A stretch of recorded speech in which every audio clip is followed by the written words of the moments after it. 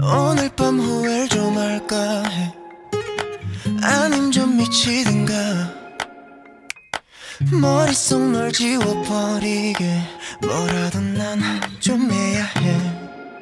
서랍 속 저강 보호 갑니다 제발. 갑. 그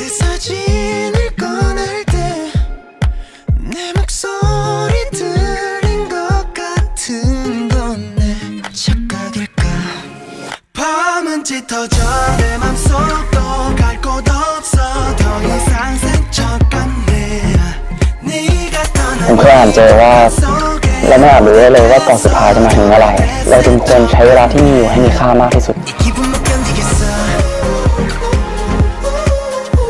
ผมว่าเราหยุดความสัมพันธ์ของเราไว้ก่อนได้ไหม แล้วถ้าวันนั้นมันมาถึงจริงๆ ผมจะยิ้มให้พี่